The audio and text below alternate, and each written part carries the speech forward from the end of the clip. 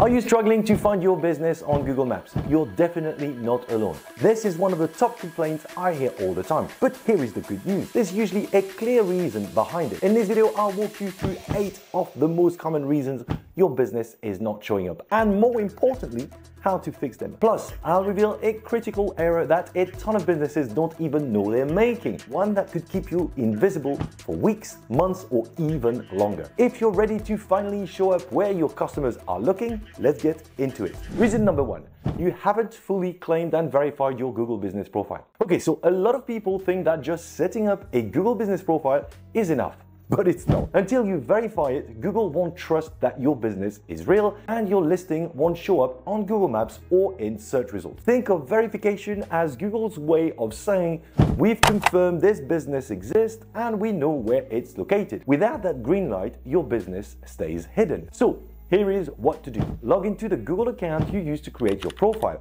If it's not verified yet, you'll see a message saying your business is not visible to customers and you'll be prompted to start the verification process.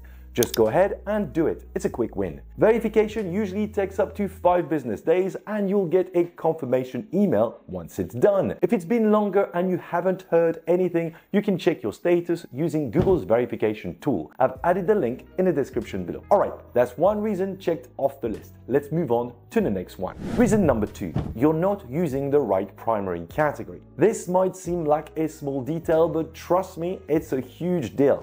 Your primary category is how Google figures out what your business is actually about. And if you get this wrong, you'll either show up for completely irrelevant searches or not show up at all. Let me give you a quick example. Imagine you're a wedding photographer, but you've selected photographer as your primary business category. Sure, that's technically correct, but you're completely missing out on people searching specifically for wedding photography. And before you think, I'd never make that mistake, it actually gets trickier. Take dentists, for example. There are about eight different primary categories to choose from. But if most of your revenue comes from dental implants, should you just pick dentist or go with something more specific like dental implants periodontist. See the difference? So here is what to do.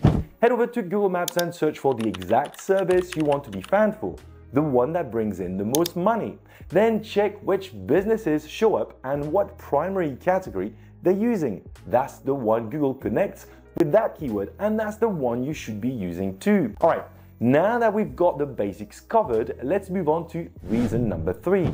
You haven't optimized your Google business profile. Take a look at this. Here is a Google business profile that's fully optimized, and here is one that clearly isn't. Now, be honest, which one do you think Google is more likely to show in search results? Exactly, the first one. And honestly, you can't blame Google for it. If you want to show up on Google Maps, your profile needs to earn that visibility. That means going beyond just claiming your listing. You've got to fully optimize it. Use all the right features, collect reviews, add secondary categories, post photos regularly, publish updates, list your services, the works. If you've only claimed your profile and left it half finished, don't be surprised if Google isn't putting you in front of customers. And really, why should they? Now, if you have done all of that and you're still not ranking as well as you should, it might be time for a deeper look. That's exactly what I offer a Google Business Profile Audit service, where I'll personally review your listing and show you exactly what's holding you back and how to fix it.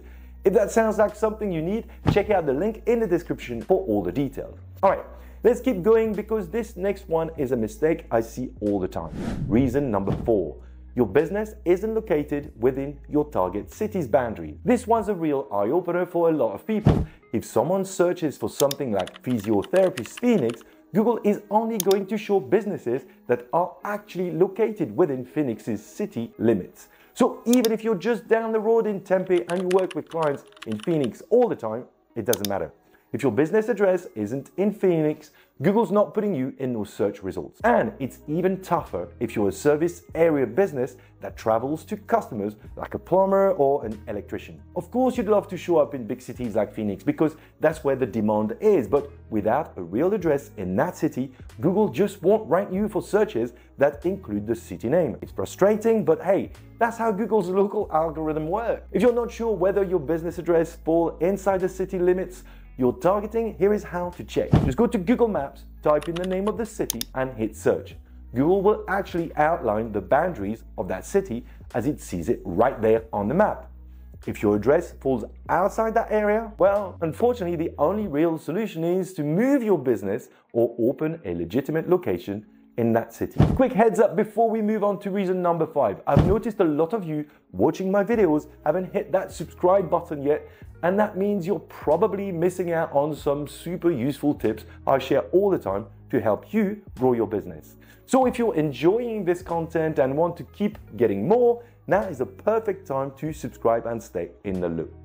Let's keep it rolling on to reason number five. You've removed your address from your listing. This one mainly applies to service area businesses. You know, businesses that don't serve customers at a physical location, but instead travel to their clients like plumbers, electricians, mobile massage therapists. According to Google's guidelines, if you're one of these businesses, you're not supposed to show your address. But let's be honest, many businesses still do it to try and rank higher. The problem, that's one of the fastest ways to get your listing suspended. And when your listing gets suspended, to get it reinstated, Google will force you to remove the address. Problem solved, right? Well, not really. Because here is the ugly truth. Listings without an address tend to rank way lower in Google Maps. And I'm not talking about a small drop, I mean falling completely off the map. So, what's the solution? Get yourself a legitimate business address. Even if it's a tiny office, a hole in the wall somewhere, it's worth the investment. That address gives Google a physical location to anchor your listing, and you'll stand a much better chance of showing up in a map pack. But having the right address isn't the end of the story. There's something else that flies under the radar for most business owners, and it might just be the reason Google's not showing your listing. Reason number six Someone has edited your listing without you even knowing. Yep, this is a thing, and it happens more often than you think. Google allows anyone to click that little suggest an edit option right from your business listing. And here is a crazy part. Unless you actively reject those changes, Google might just accept them by default. I know it sounds unbelievable, but it's true. Google's logic is that public input helps keep local information accurate and up to date. They believe people on the ground can report changes faster than business owners. Sounds good in theory, but here is the reality. This opens the door for abuse, especially from malicious competitors. Someone could suggest that your business is temporarily or permanently closed move your location on the map, change your business hours, or even mess with your contact details. And all of that can seriously hurt your rankings and your bottom line. Now, I know it's frustrating and completely unfair, but hey, Life's unfair, right? The good news is there's a way to protect yourself. There's a great tool from Whitespark that monitors your Google business profile for any changes. The second someone tries to mess with your listing, you'll get an alert and can reject those changes with one click.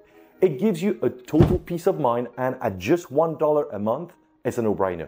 Think about it. How much is a single new customer worth to your business? Probably way more than a dollar. So why risk losing your business when you can lock things down and stay in control? I've added the link to that tool in the description below if you want to check it out. All right, let's move on because even if you've secured your listing and protected it from unwanted changes, there's another reason why your listing may no longer show up on Google Maps. Reason number seven there's been a Google algorithm update. Now, this is one most people don't even think about. Google's algorithms are incredibly complex systems designed to sort through massive amounts of data and deliver the best possible results for every search. Back in the day, Google made just a handful of updates each year, but now they're rolling out hundreds, sometimes thousands of changes every year. Most are minor and go completely unnoticed. The tricky part? Google doesn't exactly send you a nice email letting you know. So if your rankings suddenly tank and you have no idea why, this could very well be the reasons. Here is how you stay ahead of this. There's a free tool called Local Rank Flux by Bright Local, and it's the only tool out there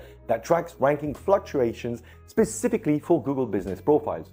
They monitor daily movements across over 14,000 keywords and can show you if there's been a major spike in ranking activity over the last seven days. If you check and see a big spike and it lines up with the timing of your listing disappearing, there's a strong chance a major algorithm update is behind it. Even better, you can subscribe to their free email alerts and stay one step ahead. That way, if Google rolls out another update, you'll be among the first to know before it impacts your business. I've dropped the link to this tool as well in the description below if you want to check that out. And if you take a look at this tool and there's no sign of an algorithm update, but your listing is still not showing up, well, stick around because that's probably down to the next reason we're about to cover. Reason number eight your Google business profile is filtered out. Yep, this is that critical mistake I mentioned right at the start. The one that can make your business completely disappear from Google Maps for weeks or even months. And the worst part, you probably won't even realize